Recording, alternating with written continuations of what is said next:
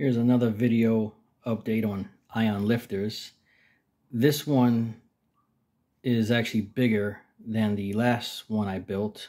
It's about 8 inches wide by about 20 inches long.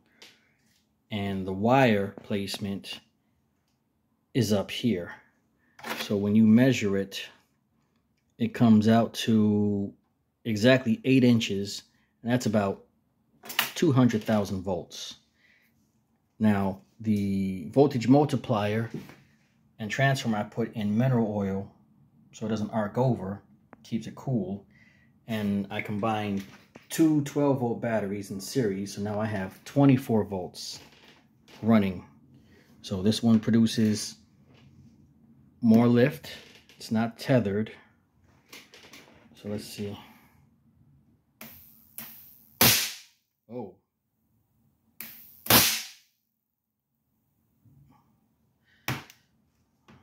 Well, you can see that's uh, a lot of power right there. I wasn't expecting that. Let's see if I can move the wires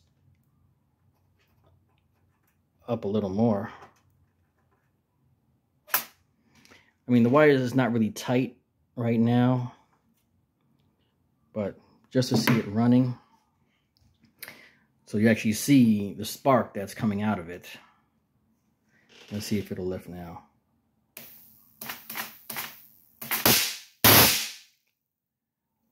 Okay, that's a lot of power right there. You know what? I'm going to have to readjust the wire. I have to hold on.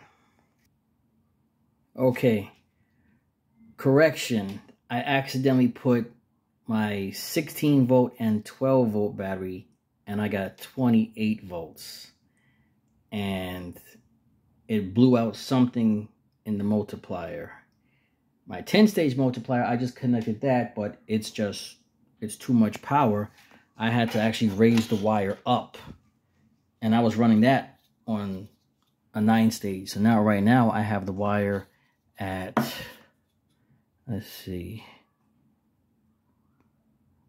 Actually, I lowered it back down. I had about 9 inches. So that's about 225,000 volts.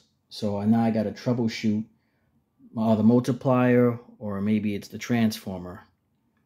So I got to check that out. But something I did find out while I was just testing this when I accidentally had the 16 volt battery connected, I didn't, I forgot to reconnect the top wire and the wire was actually just dangling right here.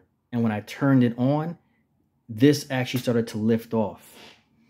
So it's kind of similar to the other YouTuber that had a lifter running with just a Tesla coil. So there is something going on there. But, you know, always back to the drawing board. Okay, bye.